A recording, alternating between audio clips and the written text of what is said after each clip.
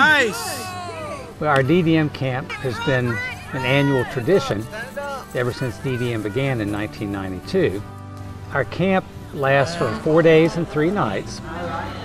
The beauty of it is that we invite people from all over the states, people who live in any of our 17 group homes or in our two in-home programs are welcome to participate. This year we have 45 participants.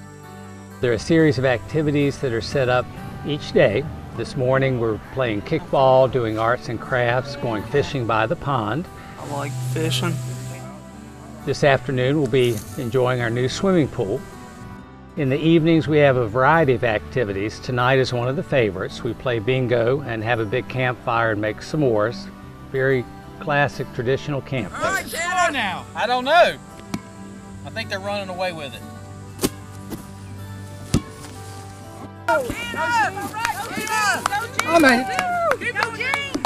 You got it, Gene! You made it. Hey, Kenna, come on! Get him out! Get off the base, man! Oh, I dropped it. I think it's a great benefit to everyone who participates. For one thing, it's a chance for people to see each other. We're geographically very diverse, spread out around Virginia. And unless you live in, you know, in a home near others in a community, it's hard to get together. So I think that's one of the special qualities about this camp. Uh, is people who rarely get to see each other, sometimes only once a year. So it's a wonderful time of, of fellowship. Uh, it can be as relaxed or as active as people want it to be.